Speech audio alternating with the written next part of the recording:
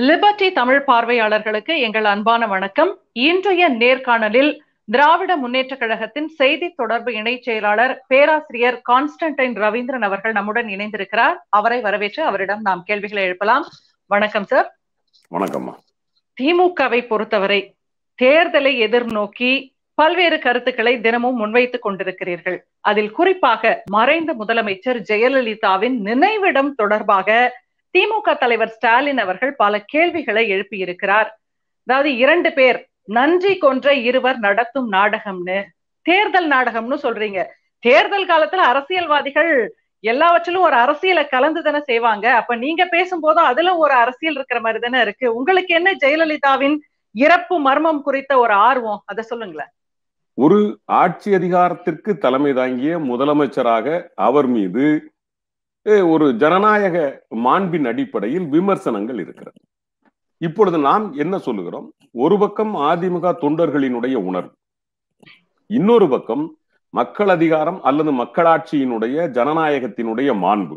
இந்த இரண்டையும் தூக்கி பார்க்கிறோம். அப்படி பார்க்கிற போது இந்த அம்மையார் ஜெயலலிதா அம்மையார் அவர்களுக்கு அதிமுக ஒரு நினைவகம் எழுப்பலாம் தவறு கிடையாது. ஆனால் மக்கள் வரிப்பணத்தை எடுத்துக்கொண்டு போய் அரசே அதை நினைவகமாக நினை ஏற்றி கொண்டு வருகிற போது ஒருவேளை இன்றைக்கு நம் சமகாலத்தில் இருக்கிறோம் அவரும் ஒரு தலைவர் தானே என்று நாம் விட்டு கொடுக்க நினைத்தால் கூட ஒரு பத்தாண்டு காலம் இருபது ஆண்டு காலம் கழித்து வரக்கூடிய நமது அடுத்த தலைமுறை இவரினுடைய வரலாற்றை படிக்கிற போது இப்படி ஒரு உச்ச நீதிமன்றத்தால் அல்லது உயர் நீதிமன்றத்தால் ஏனென்றால் நான்கு வழக்குகளில் அவர் தண்டனை வாங்கியது உண்மை. அதிலே டான்சியில் கூட அவர் வந்து வாங்கினதை நான் திருப்பி கொடுத்துட்றேன் அப்படிங்கிற முறையில போனாங்க. பிரசன்ட் ஸ்டே இன்னும் இருக்குது. இந்த மாதிரி இருக்கும்போது இந்த தலைவருக்கு அன்னைக்கு இருந்த மக்கள் எப்படி வந்து ஒரு அரசு செலவில் வந்து நினைவகம் அமைப்பதற்கு ஒத்துக்கொண்டார்கள் என்ற கேள்வி அடுத்த தலைமுறையிடம் வரும். அப்போ இதைத்தான் நாம் மறுக்கிறோம். நீங்கள் ஜெயலலிதா அம்மையாருக்கு நினைவகம் கட்டக்கூடாது என்பதல்ல திமுகவின் பார்வை. ஜெயலலிதா அம்மையார் முன்னாள் முதல்வருக்கு என்கிற முறையில் அரசு பணத்தை அதாவது மக்கள் வரி பணத்தை செலவழித்து அரசியலமைப்பு சட்டத்தினுடைய மாண்புகளுக்கு புறம்பாக ஒரு நினைவகத்தை இந்த அரசு எழுப்புமேயானால் அது கூடாது. அது ஒரு தவறான முன்னுதாரணமாகிவிடும் என்பதுதான் எங்களுடைய பார்வை. நீங்கள் சொல்வது போலவே வைத்துக் கொண்டாலும் கூட அவர் வந்து ஒரு ரூபாய் ஊதியம் தான் வாங்கினார். தொண்ணூற்று ஒன்று உங்களுக்கு தெரியும். அன்றைய காலகட்டத்தில் அது மிகவும் பரபரப்பாக பேசப்பட்ட ஒரு விஷயம். இருபத்தி ஐந்து ஆண்டுகள் ஒரு கட்சியின் தலைவராக மூன்று முறை முதலமைச்சராக எல்லாமே அதுவும் தெரியும். அதனால் அரசு பணத்தில் ஒரு நினைவு சின்னத்தை எழுப்பினால் என்ன என்ற கேள்வி அந்த தொண்டர்களுக்கு வராதா? எவ்வளவோ செய்திருக்கிறார் தமிழ்நாட்டுக்கு இந்த மாநிலத்திற்கு. ஏன் அரசு பணத்தில் கட்டினால் என்ன என்ற கேள்வி அந்த தொண்டர்களுக்கு வருமே? இதையெல்லாம் தாண்டி திமுகவுக்கு ஒரு நோக்கம் இருப்பதா தெரிகிறது. ஜெயலலிதாவின் ஆதரவு வாக்குகள் மீண்டும் மீண்டும் அதை பற்றி பேசும்பொழுது அதை திமுக பக்கம் திருப்பக்கூடிய ஏதாவது ஒரு நோக்கம் இருக்குதா திமுக தலைவர்? அப்படி இல்லை. நம்ம வந்து அதிமுகவினுடைய தொண்டர்களுடைய உணர்வை நாம் புண்படுத்த வேண்டும் என்பதல்ல நம்மளுடைய நோக்கம். ஒன்று திராவிட முன்னேற்ற கழகம் எப்பொழுதும் ஒரு ஜனநாயகத்தின் பால் இருக்கக்கூடிய வழிமுறைகளை ஜனநாயகத்தின் மாண்புகளை கடைபிடித்து வருகிற ஒரு இயக்கம் என்கிற காரணத்தினால் நாம் அதில் இருக்கிற விமர்சனத்தை வைத்திருக்கிறோமே தவிர நமக்கு ஜெயலலிதா அம்மையாரை அல்லது அவரை சிறுமைப்படுத்த வேண்டும் என்கிற எண்ணம் நமக்கு துளியும் கிடையாது. உங்களுக்கு தெரியும் இதுவரைக்கும் இல்லாத வகையில் அதிமுகவினுடைய தலைவராக அவர் அப்பல்லோ மருத்துவமனையில் இருக்கும் போது முதலில் போய் பார்த்ததும் எங்களுடைய கழக தலைவர் தளபதியார் தான் அவருக்கு அஞ்சலி செலுத்தியதும் எங்கள் கழக தலைவர் தளபதியார் தான். அந்த ஒரு நாகரீகத்தை அரசியல் நாகரீகத்தை எங்கள் கழக தலைவர் முன்னெடுத்திருக்கிறார். ஆனால் அதற்காக ஒரு நாகரீகம் கருதி நாம் பேசக்கூடாது என்று எடுத்தாலும் கூட நியாயங்களை நாம் பேசாமல் கடந்து போக முடியாது. அது ஜனநாயகத்திற்கு அழகல்ல என்பதுதான் நம்மளுடைய பார்வை. இப்ப நீங்க இன்னொரு கேள்வி கேட்டீங்க. இந்த ரெண்டு பேரும் திறக்கிறதுக்கான என்ன நியாயம்? நீங்க வந்து அத இவங்களுக்கு தகுதி இல்லை அப்படின்னு எங்க தலைவர் சொல்றாரு அப்படிங்கிற ஒரு கேள்வி கேட்டீங்க ஜெயலலிதா அம்மையாரினுடைய மரணத்தில் மர்மம் இருப்பதாக தர்ம யுத்தம் நடத்தியவர் திரு ஓ பன்னீர்செல்வம். உங்களுக்கு தெரியும். அவர் தர்ம யுத்தம் நடத்துகிறார். அதன் பிறகு இந்த அரசின் மீது இபிஎஸ் அவர்களுடைய அரசின் மீது குற்றச்சாட்டுகளை வைக்கிறார். ஒரு ஊழல் அரசு என்று கூட பட்டவர்த்தனமாக அவர் விமர்சனம் வைக்கிறார். எடப்பாடி பழனிசாமி அவர்கள் அதற்கு என்ன பதில் சொன்னார் என்று சொன்னால் முதலில் விசாரணை நடத்த வேண்டும் என்று சொன்னால் ஓ பன்னீர்செல்வம் அவர்களைத்தான் விமர்சிக்க கேள்வி கேட்க வேண்டும். ஏனென்றால் அவர்தான் அப்பொழுது முதலமைச்சராக இருந்தார் என்று சொன்னார்கள். அதன் பிறகு இந்த விசாரணை கமிஷன் அமைக்கப்பட்டது. எப்போ அமைக்கப்படுகிறது? திரு ஓ பன்னீர்செல்வத்திற்கு துணை முதல்வர் பதவி கொடுக்கப்படுகிறது. எடப்பாடி பழனிசாமி அவர்களுக்கு முதலமைச்சர் பதவி உறுதி செய்யப்படுகிறது. அப்போ இப்ப அந்த தேர்தல் ஆணையம் அமைத்ததனுடைய நோக்கம் நீங்கள் சாதாரண கண்கொண்டு பார்த்தாவே அரசியல் விமர்சன கண்கொண்டு பார்க்காமல் யதார்த்தமாக பார்த்தாலே உங்களுக்கு புரியும். துணை முதலமைச்சர் பதவிக்காகத்தான் ஓ பன்னீர்செல்வம் அவர்கள் ஜெயலலிதாவை பயன்படுத்தி இருக்கிறார் அவருடைய மரணத்தை பயன்படுத்தி இருக்கிறார் அதே போன்று அந்த விசாரணை கமிஷனை கூட ஜெயலலிதா அம்மையாருடைய மரணத்தில் இருக்கிற உண்மையை கண்டுபிடிப்பதற்காக அமைக்கவில்லை. எடப்பாடி பழனிசாமி தன்னுடைய முதலமைச்சர் பதவியை நிலைநிறுத்திக் கொள்வதற்காகத்தான் அந்த ஆணையத்தை அமைத்திருக்கிறார் என்பது எப்பொழுது தெரிகிறது என்று சொன்னால் அவர்களுடைய கட்சி தலைவர் இறந்து நான்காண்டுகள் இவர்கள் ஆட்சியிலே உட்கார்ந்து கொண்டு அதில் உண்மையை கண்டுபிடிக்க முடியவில்லை என்று சொன்னால் இதை நாடு நம்புமா? அதே இதுல ஒரு ஒரு சின்ன குறுக்கீடு இந்த உண்மை இல்ல மர்மம் இதையெல்லாம் பேசுறோம் இல்லையா? ரெண்டாயிரத்தி பதினேழுலேயே திமுக தலைவர் ஸ்டாலின் அவர்கள் சிபிஐ விசாரணை வேண்டும் என்று ஒரு கோரிக்கை வைக்கிறார். இன்னொரு புறம் ஓ பன்னீர்செல்வம் பாத்தீங்கன்னா அவரு ஒரு உண்மை தெரியணும் தர்ம யுத்தம் அப்படின்றாரு. இன்னும் பல கோணங்களில் இருந்தும் இது பற்றி கருத்துக்கள் வந்து கொண்டே இருக்கிறது. இதற்கெல்லாம் வந்து ஒரு முற்றுப்புள்ளி வைக்காமல் இழுத்தடித்துக் கொண்டே இருக்கிறார்கள். ஆறுமுகசாமி ஆணையம் ஒரு நபர் கமிஷனாக இருந்து கொண்டு தொடர்ந்து பத்து முறை வந்து நீட்டிப்பு நடக்கிறது. ரெண்டாயிரத்தி இருபது சென்ற ஆண்டு அக்டோபர் மாதம் அப்பல்லோ மருத்துவமனை சார்பில் வைக்கப்பட்ட ஒரு கருத்து. அதாவது இந்த விசாரணை ஒரு தலைபட்சமாக செயல்படுகிறது. எங்களுடைய மருத்துவர்கள் குழுவை வந்து சந்தேகப்பட்டு ஒருதலை பட்சமாக எங்களை குற்றவாளியாக்க முயற்சிக்கிறார்கள் என்று ஏதோ எங்க அப்பன் குதிரைக்குள்ள இல்ல அப்படின்னு சொல்லுவாங்க. அது போன்ற ஒரு கருத்தை வந்து அப்பல்லோ மருத்துவமனை தரப்புல இருந்து வச்சிருக்காங்க. என்ன இது?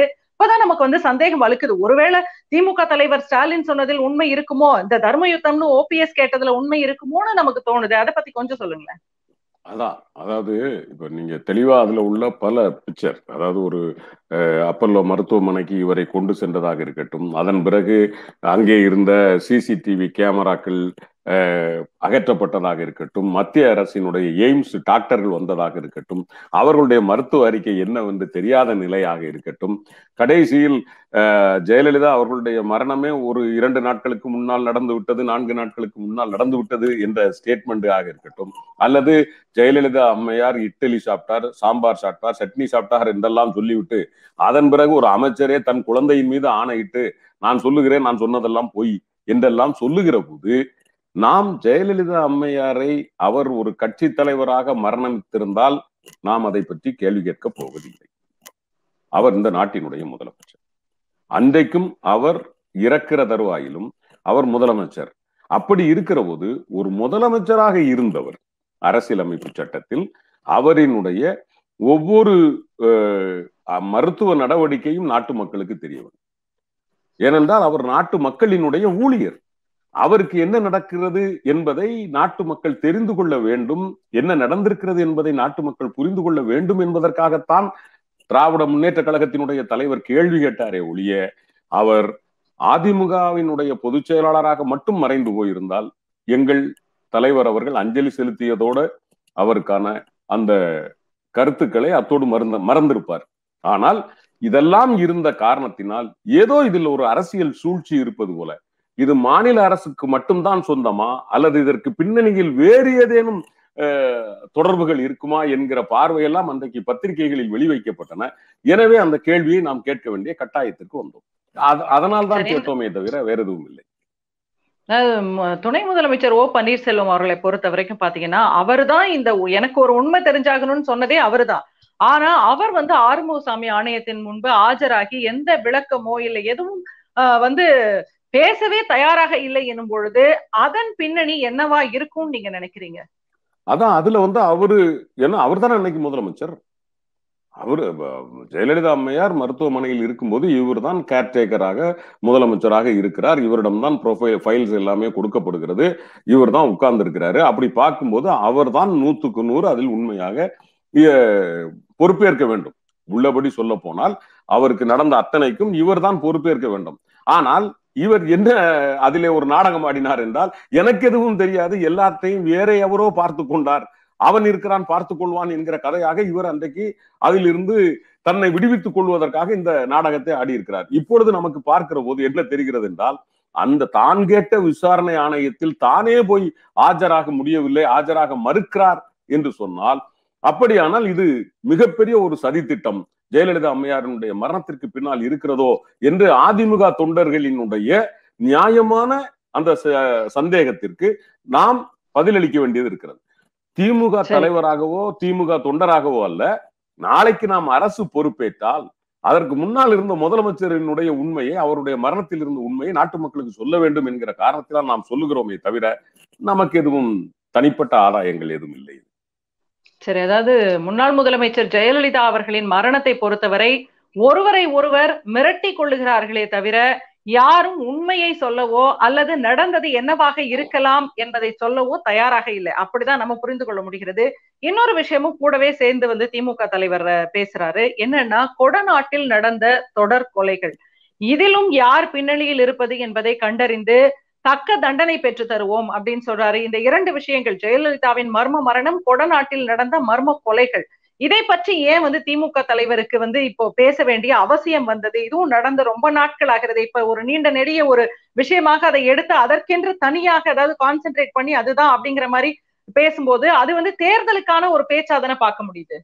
இல்ல நம்ம வந்து தேர்தலுக்காக தலைவர் அவர் பேசிக்கொண்டு வருகிற பல திட்டங்கள் இன்றைக்கும் அவர் நடந்து கொண்டிருக்கிற நமது கிராம சபை கூட்டங்களாக இருக்கட்டும் விடியலுக்கான ஸ்டாலினின் குரல் என்ற அமைப்பாக இருக்கட்டும் அல்லது கொரோனா காலத்தில் ஒன்றிணைவோம் வா என்ற திட்டமாக இருக்கட்டும் இன்றைக்கு புறப்பட்டிருக்கிறாரே உங்கள் தொகுதியில் ஸ்டாலின் அப்படின்னு சொல்லி நாட்டு மக்களுக்கு தன்னால் ஒரு பொறுப்பு ஒரு உத்தரவாதத்தை அளிக்கும் பொருட்டு நாட்டு மக்களுக்கு அடிப்படை பணிகள் அல்லது அடிப்படையான உரிமைகள் சிவில் ரைட்ஸ் அப்படின்னு சொல்லுவோம் இல்லையா? அந்த அரசாங்கம் கொடுத்திருக்கக்கூடிய சிவில் ரைட்ஸ் இது உண்டவை இன்னும் கிடைக்காத கடைக்கோடி மக்களுக்கு நான் இருக்கிறேன் என்று உத்தரவாதம் கொடுப்பதற்காக இன்றைக்கு புறப்பட்டிருக்கிறார். இது இந்த ஒன்று மட்டும் ஒன்மேன் அஜெண்டா கிடையாது. அதாவது இன்றைக்கு அந்த நினைவகத்தை திறந்திருக்கிற போது தேவையில்லாமல் முதலமைச்சர் ஒரு வார்த்தையை சொல்லுகிறார். ஜெயலலிதா அம்மையாருக்கு நினைவகம் கட்டக்கூடாது என்று பினாமிகளை வைத்து நாங்கள் வழக்கு தொடுத்தோம் என்று. உண்மையிலே வழக்கு தொடுத்தது பாட்டாளி மக்கள் கட்சி. பாட்டாளி மக்கள் கட்சி எங்களுக்கு பினாமி என்றால் நீங்கள் ஏன் கூட்டணியில் வைத்திருக்கிறீர்கள்? கேள்வி கேட்க வேண்டிய நியாயம் இருக்கிறதா இல்லையா? வழக்கு தொடுத்தவர்கள் அவர்கள் அந்த அம்மையாருக்கு வந்து நினைவகம் கட்டக்கூடாது. அவர்கள் ஊழல் குற்றவாளி என்று வழக்கு தொடுத்தது பாட்டாளி மக்கள் கட்சி. அவர்களை கூட வைத்துக்கொண்டு இன்னைக்கும் கூட வைத்துக்கொண்டு நாங்கள் பினாமிகளை வைத்து வழக்கு போட்டோம் என்று சொன்னால் எங்களுக்கு அது தேவையில்லை. நாங்கள் எதிர்த்தால் நேருக்கு நேர் எதிர்க்கிறோம். ஆதரித்தால் உயிருக்கு உயிராக ஆதரிக்கிறோம். எங்களுக்கு அதில் மாற்று கருத்தில் சரி. இப்போ இந்த ஜெயலலிதா அவர்களின் மரணத்தை பொறுத்தவரை நீங்க எழுப்பிய கேள்விகள் வந்து நியாயமாக நாங்கள் ஒரு எதிர்கட்சியாக கேட்க வேண்டிய விஷயங்களை தான் கேட்டோம். முன்வைக்க வேண்டிய விஷயத்தை தான் முன்வைத்தோம்னு சொல்றீங்க. அதிமுக தொண்டர்களை பொறுத்தவரை ஜெயலலிதாவின் மரணத்தை அவங்க எப்படி பாக்குறாங்க அவங்களுக்கு சந்தேகம் இருக்கா? நீங்க வந்து இவர்களை விடுங்க. இபிஎஸ் ஓபிஎஸ் விடுங்க. மற்ற அமைச்சர்கள் எல்லாம் தொடர்ந்து இது பத்தி கருத்து சொல்றாங்க. முதல்ல திண்டுக்கல் சீனிவாசன் தான் சொல்றாரு. உடல்நிலை குறித்து உண்மையான செய்தி எங்களுக்கு அளிக்கப்படவில்லை. எங்களுக்கு பொய் சொன்னார்கள் என்ற ஒரு விஷயத்தை முதலில் அவர் பேசிய பிறகுதான் திமுக தலைவர் ஸ்டாலினே இதற்கு சிபிஐ விசாரணை வேண்டும் என்ற ஒரு கருத்தை முன் வச்சாரு. ஏன் யாருமே வந்து பேசல? இவங்க ரெண்டு பேரை விடுங்க. பதவி பதவிக்காக அவங்க வந்து சமரசம் செய்து கொண்டார்கள்னு சொல்வீங்க. தொண்டர்களை பொறுத்தவரை இதையெல்லாம் அவங்க பேசவே இல்லையே. ஒரு ஆட்சி நடக்குது அம்மாவின் ஆட்சின்னு சொன்னா அவங்க நம்ம தயாரா இருக்காங்களே. நீங்க ஏன் ரொம்ப கவலைப்படுறீங்க அப்படிங்கறதுதான் இப்ப கேள்வி. ஒண்ணு. நீங்க இப்போ நாங்க கிராம சபை கூட்டம் நடத்துறோம். அதுல தலைவர் போகிறாரு. போற இடத்துல வந்து ஜெயலலிதா அம்மையாரனுடைய மர்மத்தை மரண மர்மத்தை நான் கண்டிப்பாக கைத்தட்டுறாங்கல்ல? அப்போ நான் என்ன கேட்கிறேன் நாம வந்து இது வந்து அதிமுக தொண்டர்களுக்காக மட்டும் இல்லை தமிழ்நாட்டு மக்களுக்கே கடன் கடமை இருக்கிறது அதுலங்கிறேன் நான். நீங்க அதிமுக தொண்டர்களுக்காக மட்டுமல்ல அதிமுகவின் உண்மையான விசுவாசிகள் நேர்மையான தொண்டர்கள். நான் இன்னைக்கு கூட நான் மனம் நெகிழ்ந்த விஷயம் உண்டு.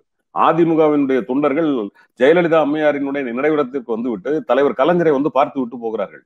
போகிற போது மிக தெளிவாக சொல்கிறார்கள் அவரும் ஒரு தலைவர் அவர் மீதும் எங்களுக்கு மரியாதை உண்டு. இது போன்ற நேர்மையான தொண்டர்கள் இருக்கிறார்கள் அல்லவா அதிமுகவில்? இந்த தொண்டர்களுக்கு வந்து அந்த கேள்வி வராதா? நம்ம அம்மாவுடைய மரணத்தில் என்ன நியாயம் நடந்தது? இவர்கள் இரண்டு பேருடைய ஆட்சி அல்லது பதவிகளுக்காக இவங்க வந்து அம்மாவை பயன்படுத்திக்கிட்டாங்க. உண்மையிலே அம்மா யார்? அம்மாவுடைய மரணத்தில் என்ன நடந்தது என்பதை இந்த அதிமுக தொண்டர்கள் நான் நான் சொல்லுவது நாங்கள் இதை கொண்டு வருவதால் அவர்கள் திமுகவுக்கு வந்துவிட வேண்டும் என்பதல்ல நோக்கம். எங்களுக்கு இரண்டு இருக்கு. ஒன்று நாங்கள் ஆட்சி பொறுப்பிற்கு வருகிற போது எங்களுக்கு முன்னால் ஆட்சியிலே இருந்தவனுடைய நிலை என்ன என்பதை நாட்டு மக்களுக்கு சொல்ல வேண்டியது இருக்கிறதுங்கிறேன் நான் சொல்றது அதிமுக தொண்டர்களுக்கு மட்டுமல்ல. அந்த நாட்டு மக்களுக்கு சொல்லுகிற போது அதிமுகவின் தொண்டர்களுக்கும் உண்மையான தொண்டர்கள் ஜெயலலிதாவை உண்மையாக நேசித்த அதிமுகவினுடைய தொண்டர்களுக்கு அவர்கள் எதிர்பார்க்கிற அந்த உண்மையை நாம் சொல்லுவோம் என்று நாம் சொல்லுகிறோம். இது அதிமுக தொண்டர்களுக்கு மட்டுமல்ல தமிழ்நாட்டினுடைய ஒட்டுமொத்த மக்களுக்கும் அந்த உண்மையை நாங்கள் சொல்லுகிறோம் என்பதுதான் எங்களுடைய வாக்குறுதி. சரி அதிமுகவினரை பொறுத்தவரை பாத்தீங்கன்னா இந்த சொத்து குவிப்பு வழக்கே ஜெயலலிதாவை பழி வாங்குவதற்காக திமுக நடத்திய வழக்கு என்றுதான் அவங்க பேசுறாங்க. அப்படியானால் உங்களுடைய அக்கறையை அவங்க எப்படி வந்து ஏத்துக்குவாங்க? அதை பத்தி சொல்லுங்களேன். இல்ல நியாயமானது. ஒண்ணு என்னன்னா இந்த வழக்க போட்டது. வழக்க போட்டது சுப்பிரமணிய சாமி. பாஜகவினுடைய இப்போதைய எம்பி. உங்களுக்கு தெரியும் நினைக்கிறேன். அன்னைக்கு இருந்த நம்ம கவர்னர்கிட்ட போய் ஜெயலலிதா அம்மையார் மீது வழக்கு தொடுக்கிறதுக்கு அனுமதி வாங்கி அந்த அனுமதியை கொடுத்து அந்த அனுமதி கொடுக்க கூடாதுன்னு ஜெயலலிதா அம்மையார் நீதிமன்றத்தில் வாதாடி அதையும் சுப்பிரமணியன் சாமி அவர்கள் உடைத்து அதற்காக நீதிமன்றத்திற்கு அவர் போகும்போது ஜெயலலிதா அம்மையாரினுடைய அதிமுக மகளிரணி அவர்களுக்கு ஜ சுப்பிரமணியன் சாமிக்கு வேண்டிய பூஜை நடத்தி அதன் பிறகுதான் சுப்பிரமணிய சாமி அவர்கள் இந்த வழக்கை தொடுத்தார். இந்த வழக்கை தொடுத்து போகிற போதுதான் அடுத்தாற்போல் ஆட்சிக்கு வந்த நாங்கள் அரசு சார்பாகத்தான் அந்த வழக்கை தொடுத்ததே தவிர திமுக சார்பாக அல்ல. அதன் பிறகு ஒரு இடத்தில் ரெண்டாயிரத்தி ஒன்றில் ஆட்சிக்கு ஜெயலலிதா அம்மையார் வந்த பிறகு இந்த வழக்கில இருந்த சாட்சிகள் எல்லாம் பிறல் சாட்சிகளாக மாறுகிறார்கள். அப்பொழுதுதான் நாம் ஒரு வழக்கு பேராசிரியர் அன்பழகன் அவர்கள் அதாவது இந்த மாநிலத்தில் இந்த இந்த வழக்கு தொடர்ந்து நடக்குமே ஆனால் இந்த வழக்கு ஒன்றுமில்லாமல் போய்விடும். எனவே பக்கத்து மாநிலத்திற்கு மாற்ற வேண்டும் என்று ஒரு கான்ஸ்டிடியூஷனல் ரைட்ஸ் அதை வாங்கினாரே தவிர மற்றபடி இந்த வழக்கை முழுக்க முழுக்க தொடுத்தது சுப்பிரமணிய சுவாமி அவர்கள்தான். அவர்தான் முதன் முதலில் கொண்டு போய் இதற்கான ஆதாரங்களை கொண்டு போய் நிறுத்தினார். அதன் பிறகுதான் தமிழக அரசு திமுக பொறுப்பேற்ற காரணத்தினால் அரசினுடைய வேலையை திமுக பார்த்ததே தவிர திமுக பழிவாங்க வேண்டும் என்கிற எண்ணத்தில் இல்லை. அதை தொடர்ந்தவர் இன்னைக்கு சொல்லுகிறேன் ஜெயலலிதா அம்மையாருக்கு வழக்கு தொடுத்ததனால் தான் ஜெயலலிதா அம்மையார் பழிவாங்கப்பட்டார் என்று சொன்னால் அதற்கு காரணம் சுப்பிரமணிய சாமி இன்னைக்கு அதிமுக எடப்பாடி பழனிசாமி கூட்டணி வைக்கிற பாரதிய ஜனதா கட்சியினுடைய எம்பி. ஜெயலலிதா அம்மையாருக்கு நினைவகம் கட்டக்கூடாது என்று வழக்கு தொடுத்தது யார் என்று கேட்டால் பாட்டாளி மக்கள் கட்சி டாக்டர் ராமதாஸ். இன்றைக்கு எடப்பாடி பழனிசாமி அவர்களோடு தான் கூட்டணி வைத்திருக்கிறார்கள். அப்படி பார்க்கிற போது ஜெயலலிதாவுக்கு துரோகி என்று இவர்கள் சொல்ல வேண்டும் என்று சொல்லக்கூடிய இரண்டு பேரோடு தான் இவர்கள் கூட்டணி வைத்திருக்கிறார்கள் என்றால் அப்பொழுது இப்பொழுது எங்கள் தலைவர் சொல்வதை போல இவர்கள் துரோகிகள் இல்லையா? சரி இவர்களை வந்து துரோகிகள் என்று சொல்வதற்கான காரணம் இருக்குது அப்படின்னு சொல்றீங்க. இன்றைக்கு தமிழக அரசியலில் வாக்கு கேட்க செல்லும் போது ஏற்கனவே ஆர்கே நகர் இடைத்தேர்தல்ல பார்த்தோம். ஜெயலலிதா அவர்கள் இறந்த அந்த பெட்டியில் இருப்பது போல ஒரு சவப்பெட்டி போல ஒன்று செய்து கொண்டு போய் வாக்கு கேட்ட ஒரு சூழல் இருந்தது அன்னைக்கு. இப்போதும் அந்த அனுதாப வாக்குகள் அவர் பெயரை சொல்லும் பொழுது கிடைக்குமா என்ற அடிப்படையில் தான் இதெல்லாம் நடப்பதா மக்கள் பாக்குறாங்க அதிமுகவை பொறுத்தவரை இந்த நினைவகம் கட்டி அவர்களுடைய இல்லத்தையும் வந்து ஒரு நினைவில்லமாக ஆக்க போகிறார்கள். இது வந்து அதிமுகவினர் மத்தியில் ஒரு எழுச்சியை ஏற்படுத்துமா? ஒரு நம்பிக்கை இபிஎஸ் ஓபிஎஸ் மேல ஒரு நம்பிக்கை ஏற்படுத்தும் எதிர்பார்த்துதான் நீங்க இப்படி எதிர் அரசியல் செய்றீங்களா? அதிமுக தொண்டர்களினுடைய ஜெயலலிதா அம்மையார் மீதான மரியாதை என்பது வேறு. இபிஎஸ் ஓபிஎஸ் அவர்களினுடைய கடந்த நாலாண்டு கால ஆட்சி அதற்கு முன்னால் ஜெயலலிதா அம்மையாருடைய அதிமுக ஆட்சி மொத்தம் பத்தாண்டு கால ஆட்சியில் தமிழகம் என்ன பாடுபட்டிருக்கிறது என்கிற பார்வை ஒன்று. நீங்கள் கேட்பதை போல அதிமுக தொண்டர்கள் அதிமுகவுக்கு அவர்களுடைய ஜெயலலிதா அம்மையாருக்கு நினைவகம் கட்டியதை வரவேற்றிருப்பார்கள். ஆனால் அவர்கள் இந்த ஓபிஎஸ் இபிஎஸ் மீது அவர்கள் வந்து திருப்தியாக இருக்கிறார்கள் இவர்களுடைய நடவடிக்கைகளில் முதலமைச்சர் துணை முதலமைச்சராக என்ற கேள்விக்கு பதில் தேர்தல் தான் சொல்ல முடியும். கடந்த ரெண்டாயிரத்தி பத்தொன்பது தேர்தல் அதை சொல்லியது எனக்கு தெரிந்து. இதுவரைக்கும் இல்லாத வகையில் உதயசூரியன் சின்னத்தில் ஐம்பத்தி ஏழு புள்ளி நாலு ஒன்னு சதவிகிதமும் ஒட்டுமொத்த கூட்டணிக்கு ஐம்பத்தி நான்கு புள்ளி ரெண்டு அஞ்சு சதவிகிதமும் திராவிட முன்னேற்ற கழகத்திற்கு வந்தது என்று சொன்னால் அதிமுகவின் அனுதாபிகளில் பல பேர் இந்த ஆட்சி சரியில்லை என்று எங்களுக்கு வாக்களித்ததனால் தானே இருக்க முடியும்? எனவே நான் சொல்லுகிறேன் அதிமுகவின் தொண்டர்களினுடைய அதிமுக ஆதரவாளர்கள் கூட தமிழ்நாடு நன்றாக இருக்க வேண்டும் என்று நினைக்கிறவர்கள் நிச்சயமாக திராவிட முன்னேற்ற கழகத்திற்கு வாக்களிப்பார்கள். ஆனால் ஜெயலலிதா அம்மையாருக்கு நினைவகத்தை அவர்கள் வரவேற்பார்கள். அதை நான் மறுக்கவில்லை. யாரா யார் கட்டினாலும் இப்போ நான் என்ன சொல்றேன் புரட்சி தலைவர் எம்ஜிஆர் அவர்கள் மறைந்த போது நாம தான் வந்து அவருக்கு நிழற்குடை அவன் குடை கொடை வள்ளல்னு அவருக்கு பேர் இருந்ததுனால ஒரு கொடையை போல் அவருக்கு அழகான ஒரு நினைவகம் அமைத்தோம். நாம் தானே அமைத்தோம். அதை அதிமுக தொண்டர்கள் வரவேற்பார்கள். ஆனால் அதற்காக அவர்கள் திமுகவுக்கு வந்து விட வேண்டும் என்பது அல்ல. ஒரு தலைவரை நாம் மதிக்க வேண்டிய விதத்தில் நாம் மதிக்கிறோம்.